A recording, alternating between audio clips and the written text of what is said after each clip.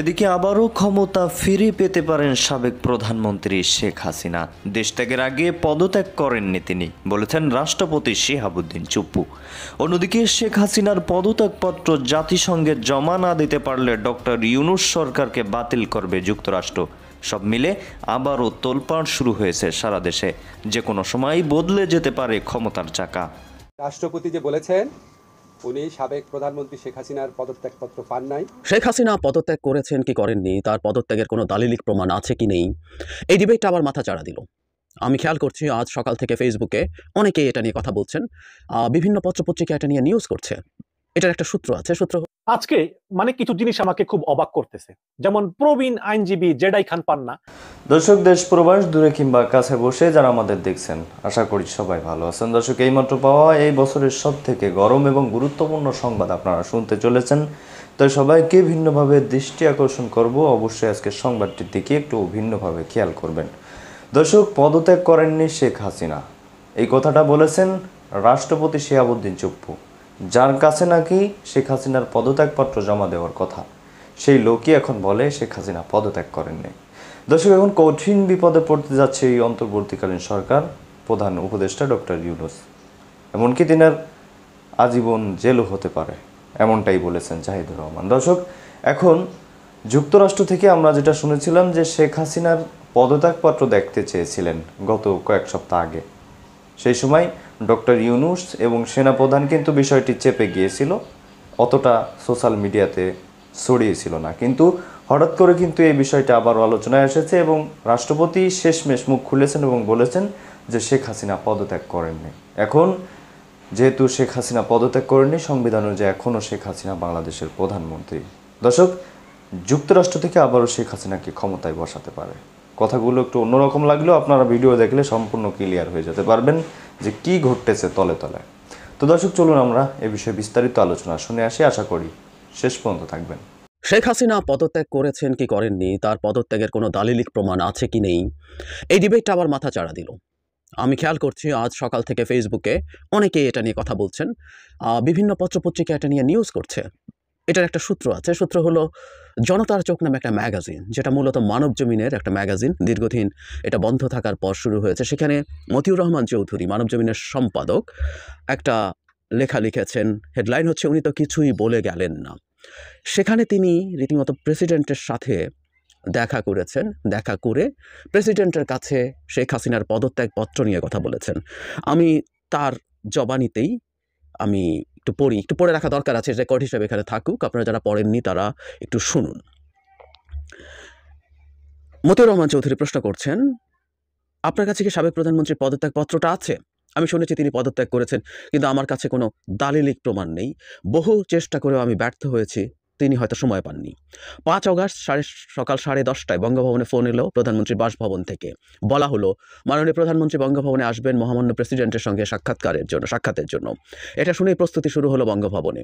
ঘণ্টা খানেকের মধ্যে ফোন এলো, তিনি আসছেন না। প্রেসিডেন্ট বললেন, চারদিকে অস্থিরতার খবর, কি হতে যাচ্ছে জানি না, আমি তো গুজবের উপরে নির্ভর করে বসে থাকতে পারি না। তাই সামরিক সচিব জেনারেল আদিলকে বললাম, খোঁজ নিতে, তার কাছেও কোনো খবর নেই, আমরা অপেক্ষা করছি। টেলিভিশনে স্ক্রলও দেখছি, কোথাও কোনো খবর নেই। এক পর্যায়ে শুনলাম, তিনি দেশ ছেড়ে চলে গেছেন। আমাকে কিছুই বলে গেলেন না। যা সত্য, তাই আপনাকে বললাম। যাই হোক, সেনাপ্রধান জেনারেল ওয়াকার যখন বঙ্গভবনে এলেন, তখন জানার চেষ্টা করেছি প্রধানমন্ত্রী পদত্যাগ করেছেন কিনা। একই জবাব, শুনেছি তিনি পদত্যাগ করেছেন। মনে হয় সে সময় পাননি জানানোর। সব কিছু যখন নিয়ন্ত্রণে এলো, তখন একদিন মন্ত্রী পরিষদ সচিব এলেন পদত্যাগপত্রের কপি সংগ্রহ করতে। তাকে বললাম, আমিও খুঁজছি। এক পর্যায়ে প্রেসিডেন্ট বললেন, এ নিয়ে আর বিতর্কে কিছু নেই। প্রধানমন্ত্রী চলে গেছেন, এটাই সত্য। তারপরও কখনো যাতে প্রশ্ন না ওঠে, এজন্য সুপ্রিম কোর্টের মতামত নিয়েছি। আমার মনে হয় এর মধ্যে সেলফ এক্সপ্ল্যানেটরি ব্যাপারটা আছে। প্রেসিডেন্ট জিনিসটাকে স্পষ্টই করেছেন। তারপর আমরা অনেকে কথা বলছি এবং আমরা মনে করছি শেখ হাসিনা এখনও বাংলাদেশের প্রধানমন্ত্রী।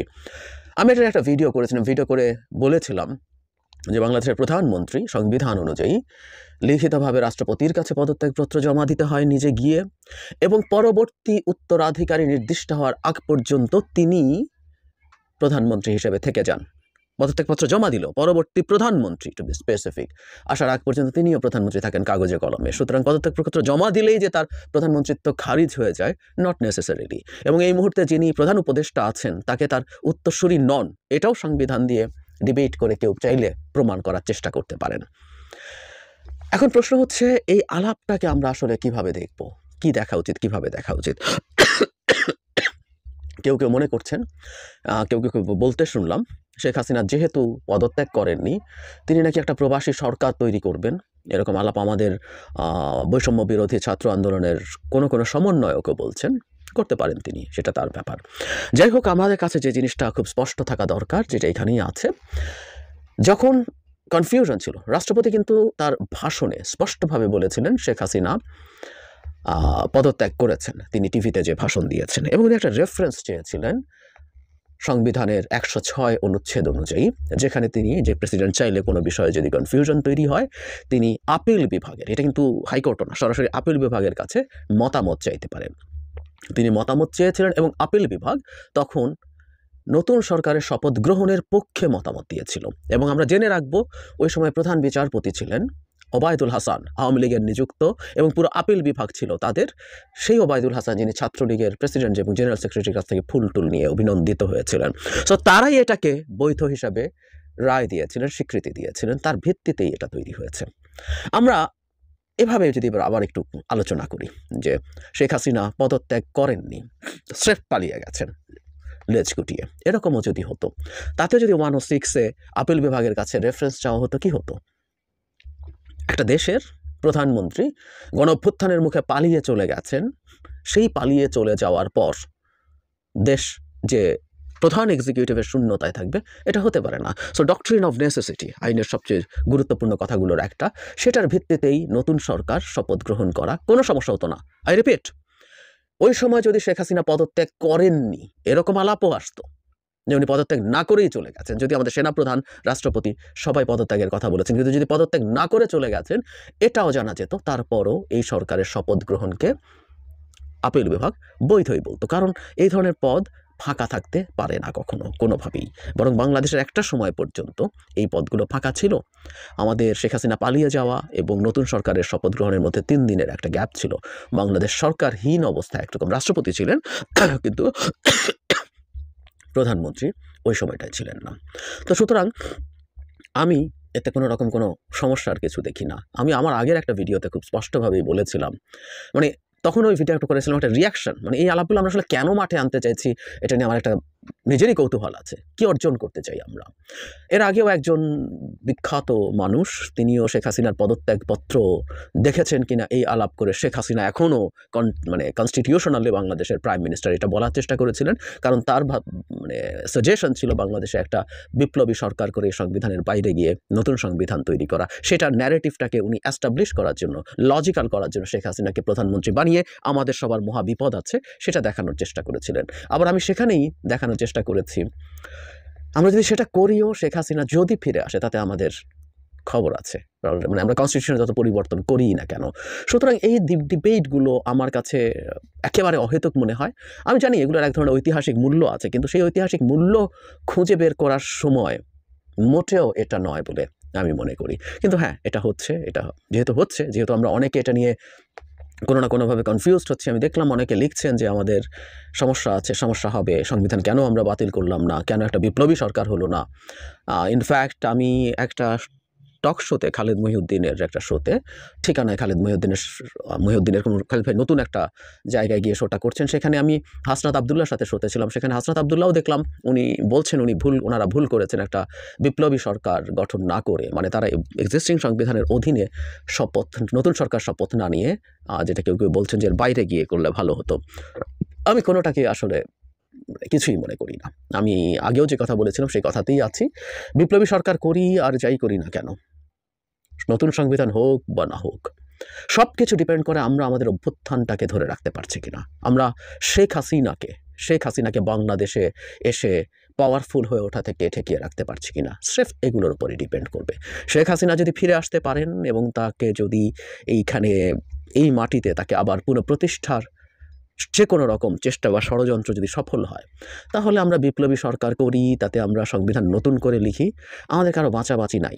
সংবিধানের আর্টিকেল সেভেন এতে এই যে যা যা করলাম, সেগুলোর প্রত্যেকের মৃত্যুদণ্ডযোগ্য অপরাধ হতে পারে।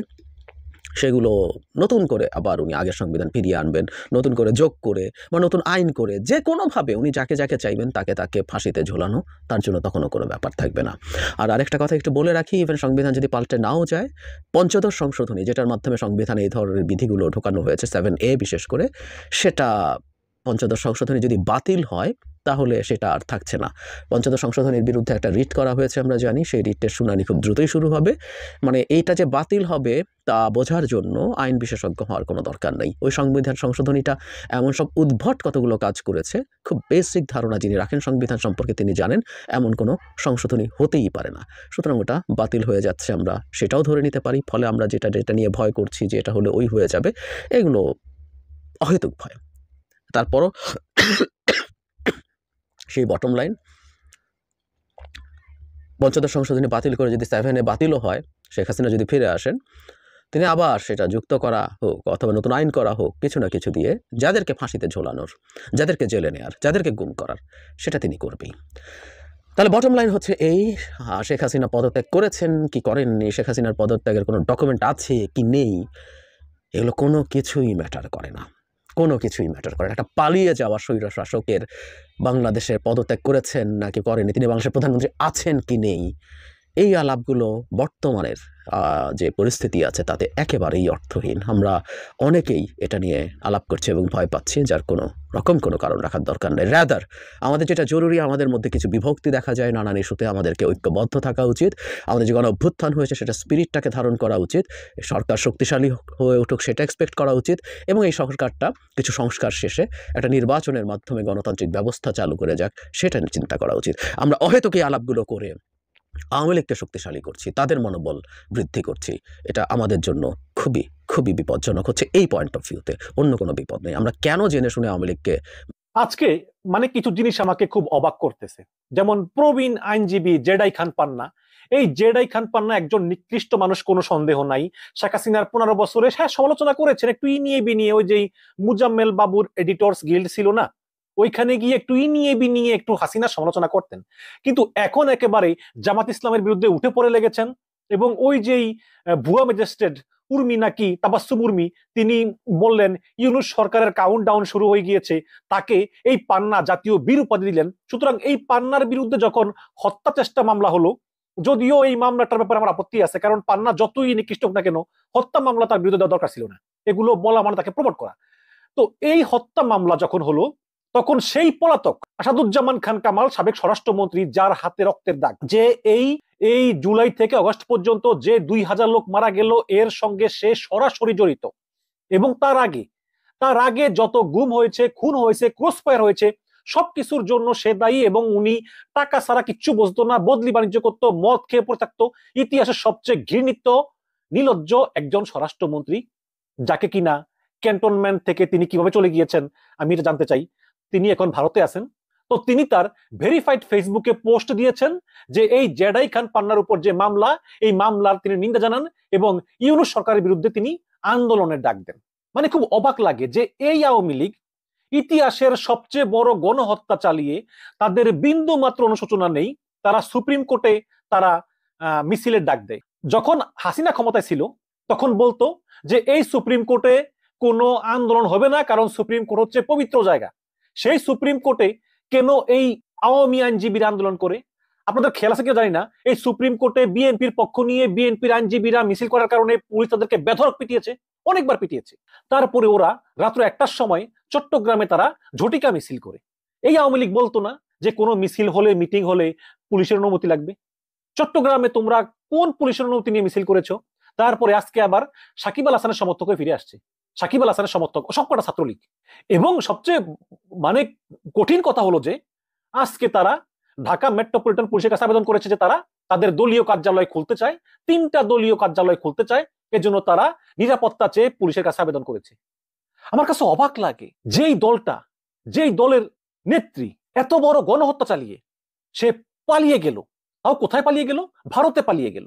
যেই ভারত তাকে পনেরো বছর ধরে ক্ষমতা টিকিয়ে রেখেছে, ভারতের সেই স্বপ্ন যে দুই হাজার সাতচল্লিশ সালে অখণ্ড ভারত হবে, বাংলাদেশ শ্রীলঙ্কা, নেপাল, বার্মা, পাকিস্তান সব সহ মিলে অখণ্ড ভারত হবে। সেই অখণ্ড ভারতের স্বপ্ন বাস্তবায়নকারী হাসিনা ভারতে পালিয়ে গিয়েছেন। সেই দলটা এত তাড়াতাড়ি তারা তাদের রাজনৈতিক কার্যক্রম শুরু করতে চায়, রক্তের দাগ এখনও শুকায় নেই, তারা কোনো ক্ষমা চায় নাই বিন্দু মাত্র অনুতপ্ত না, তাদের নেত্রী ফোনে বলে যে আবার ক্ষমতা এলে একটা একটা করে ধরে ধরে শিক্ষা দিবে। এবং আমার আজকের ভিডিও বিষয়বস্তু কিন্তু এটা না। আপনি একটা জিনিস খেয়াল করেন সজীবদের জয় বলেন, তারপরে শেখ হাসিনা বলেন, তারপরে এই যে কামাল বলেন, যারাই বলেন, তারা কিন্তু একটা জিনিস খেয়াল করে দেখবেন, বিএনপির কোনো সমালোচনা করে না। তারা এই প্রফেসর ইউনুসের সমালোচনা করে আর জামাত ইসলামের সমালোচনা করে। বিএনপির নামে কিন্তু কোনো কথাবার্তা বলে না। এই কারণে হয়তো বিএনপি একটু খুশিতে গদগদ হতেও পারে। কারণ আমি শুনলাম যে গত সপ্তাহে মির্জা ফখরুল ইসলাম আলমগীর বলেছেন যে, আমরা চাই আওয়ামী লীগ অংশগ্রহণ করুক, তারা গণতান্ত্রিক ধারায় ফিরে আসুক। মানে এটা আপনি কীভাবে বললেন? এই মির্জা ফখরুল ইসলাম আলমগীর ভুলে গিয়েছেন যে তার নিজের নামেও দুইশোর মতো মামলা ছিল। তিনি কি ভুলে গিয়েছেন যে এই যে এম কে আনোয়ার তাকে এই নব্বই বছর বয়সে তাকে কুমিল্লা টু ঢাকা ঢাকা টু কুমিল্লা এমন করতে করতে করতে করতে তিনি মারাই গেলেন। তিনি কি ভুলে গিয়েছেন যে সাধুন কাদের চৌধুরী সহ কত নেতাদের ফাঁসি দেওয়া হলো? তিনি কি ভুলে গিয়েছেন যে ইলিয়াস আলী সহ, চৌধুরী আলম সহ কতজনকে গুম করল, খুন করল? সবই তো বেশিরভাগই তো বিএনপির। বেশিরভাগই তো বিএনপির। এই যেই এই কোটা আন্দোলনের যে হত্যাকাণ্ড, এটা যদি আমরা বাদও দেই গত পনেরো বছরে সাড়ে ছয়শোর মতো গুম এবং তিন হাজারের মতো ক্রস ফায়ার এবং গত বছরে যে বিএনপির বিভাগীয় সম্মেলনগুলো হলো, এরপর থেকে শুরু করে তো বিএনপিরই পনেরো বিশ জন মারা গেল। ফখরুল ইসলাম আলমকে এগুলো ভুলে গেছেন? তারপরে জামাত ইসলামের আমির, তিনি বলেছেন, ক্ষমা করে দিলাম। যদিও তিনি বলেছেন যে, দলের পক্ষ থেকে ক্ষমা করে দিলাম, কিন্তু যারা ভিকটিম তারা বিচার চাইতে পারে। কিন্তু আপনি এটাও বলা আপনার ঠিক হয়নি। দেখুন, আমি একটা কথা বলি, সেটা হচ্ছে কি? যে আমি দেশে যেতে পারি না প্রায় আট দশ বছর। এতে আমার কোনো দুঃখ নাই। আমি ইউটিউবিং করি, আমার ফ্যান ফলোয়ার অনেক কম, আমার হেটার্সও আছে। আমি যাই করি না কেন? আমি দেশের এই বিপ্লবের জন্য যদি আমার এই বিন্দু মাত্র অবদান থাকে, আমি আমি সবসময় বলি যে, আমরা ইউটিউবাররা কিন্তু মূল নায়ক না। যারা হচ্ছে যে পুলিশের সামনে জীবন দিতে প্রস্তুত ছিল, তাদের কারণে কিন্তু হাসিনা পালিয়েছে। তারপরে আমরা ভিডিও বানিয়েছি, ইউটিউবিং করেছি, যতটুকু সম্ভব চেষ্টা করেছি। শুধু একটা কথা বলতে চাই, যে বিএনপি হোক, জামাত হোক, যে সরকারি এই আওয়ামী লীগকে আবার পুনর্বাসন করার চেষ্টা করবে, তাদের বিচার ছাড়া, তাদের জাতির কাছে ক্ষমা চাওয়া ছাড়া, আমার সংগ্রাম তাদের বিরুদ্ধে চলবে। এই আওয়ামী লীগকে অন্তত দশ বছরের জন্য নিষিদ্ধ করতে হবে, তাদের প্রত্যেকটা নেতার বিচার করতে হবে এবং জাতির কাছে ক্ষমা চাওয়া আসা তাদেরকে রাজনীতি করার সুযোগ দেওয়া হবে না, এটা হচ্ছে আমার একদম স্পষ্ট অভিমত। যদি এর ব্যত্যয় ঘটিয়ে জামাত বা বিএনপি ওই স্বৈরাচার ফ্যাসিবাদ আওয়ামী লীগকে আবার পুনর্বাসন করার চেষ্টা করে এবং তারা ভুলে যায় যে তাদের নেতা কর্মীর রক্তে ওই হাসিনার হাত রঞ্জিত, এটা যদি ভুলে যায়, তাহলে এই জনগণ বিএনপি এবং জামাতকে ক্ষমা করবেন না। যেই ফ্যাসিবাদ যেই ফ্যাসিবাদ দুই হাজার মানুষকে খুন করে দেশ ছেড়ে পালিয়ে যায় এবং তাদের কোনো লজ্জা নাই, তাদের কোনো সরম নাই, তাদের কোনো অপমান বোধ নেই এবং তার জন্য মোটেও অনুতপ্ত নয়, সেই ফ্যাসিবাদকে বাংলার মাটিতে ক্ষমা চাওয়া ছাড়া এবং ওদের বিচার হওয়া ছাড়া আর আসতে দেওয়া হবে না। গতকালকে প্রধান উপদেষ্টা, বিশেষ সহকারী মাহফুজ আলম, তিনি বলেছেন যে রাজনৈতিক দলগুলোর সঙ্গে আলোচনা করে সিদ্ধান্ত নেওয়া হবে, আওয়ামী লীগ নিষিদ্ধ হবে কি হবে না। এবং আমি আহ্বান জানাই বিএনপি এবং জামাতকে, অবিলম্বে আপনারা নিজেরা বসে একমত হন যে হ্যাঁ এই আওয়ামী লীগকে অন্তত দশ বছরের জন্য নিষিদ্ধ করতে হবে। আর যদি না করেন, তাহলে আপনাদের ওই তত্ত্বাবধায়ক সরকারের সুযোগ নিয়ে, আপনাদের ওই গণতান্ত্রিক মানসিকতার সুযোগ নিয়ে এই আওয়ামী ফ্যাসিবাদ আবার গেড়ে বসবে, আবার যে কোনো ভাবে ক্ষমতা যাবে, ক্ষমতায় গিয়ে আবার তত্ত্বাবধায়ক সরকার ব্যবস্থা বাতিল করবে, আবার সেই ভারতের যে অখণ্ড ভারতের স্বপ্ন দুই হাজার সাতচল্লিশ সালের মধ্যে, সেটা বাস্তবায়ন করার পথে এগিয়ে যাবে। আর বাংলাদেশের মানুষ আবার পরাধীন হবে এবং হাসিনা তো দর্শক দেখলেন, খুব গুরুত্বপূর্ণ প্রতিবেদন যে আওয়ামী লীগ আবারও ফিরে আসতে পারে। আওয়ামী লীগ আজ থেকে কিন্তু ছাত্রলীগ এবং যুব যুবলীগ তাদেরকে মাঠে দেখা গেছে। ছাত্রলীগ কিন্তু যুবলীগ নেতাকর্মীদের খুব আকারে পিটিয়েছে এবং গুলি ছোড়াছুড়িও হয়েছে। আস্তে আস্তে মনে করেন, আওয়ামী লীগ তারা কিন্তু গর্ত থেকে বের হচ্ছে। আবারও কঠিন শক্তি নিয়ে দেশে ফিরছে আওয়ামী লীগ। কথাগুলো যেহেতু গ্রামগঞ্জ শহর থেকে আপনারা দেখতেছেন, ততটা গায়ে না লাগাতে পারেন, কিন্তু মূলধারার গণমাধ্যমে যেগুলো প্রকাশ হচ্ছে, তার থেকে কিন্তু আমরা কেটে কুটে প্রচার করতেছি এবং সেই গুরুত্বপূর্ণ বিষয়গুলো আপনারা কানে লাগাচ্ছেন না, অনেকেই ভুয়া বলে চালিয়ে দিচ্ছেন। আপনারা অন্য জায়গায় খোঁজ নেন যে রাষ্ট্রপতি আজ কী বলেছে। আজকে রাষ্ট্রপতির এই বক্তব্যকে কেন্দ্র করে অন্যতম সমন্বয়ক হাসনাত আবদুল্লাহ, সে কিন্তু একটা লাইভ করেছে এবং বলেছে এই রাষ্ট্রপতি যা বলতেছে, তার কথাই কেউ কিছু মনে করবেন না। তার মানে এটা সম্পূর্ণভাবে স্বীকার করেছেন রাষ্ট্রপতি যে শেখ হাসিনা পদত্যাগ করেননি দর্শক, এখন যদি অ্যাকশন নিতে চায় আমেরিকা, তাহলে অ্যাকশন নিতে পারে। শেখ হাসিনা যদি কোনোভাবে টাকা, পয়সা মেরে আমেরিকাকে ম্যানেজ করে দিতে পারে, তাহলে কিন্তু আবারও ক্ষমতায় আসতে পারে শেখ হাসিনা। আর আপনারা আজকে জানেন যে দেশের অবস্থা খুবই নড়বড়ি হয়ে গেছে। তো দর্শক, এখন আপনার কাছে মতামত চাইব, শেখ হাসিনাকে এই মুহূর্তে কি বাংলাদেশের সরকার হিসেবে প্রয়োজন, নাকি প্রয়োজন নেই? অবশ্যই কমেন্টে জানাবেন। এবং শেখ হাসিনাকে কোন ধরনের শাস্তি দিলে বাংলাদেশের ভিন্ন ধর্মীয় নেতাকর্মীরা শান্তি পাবে? তো দর্শকের বিষয়ে আপনাদের মতামত চাই। ভালো থাকুন, সুস্থ থাকুন। আসসালামু আলাইকুম।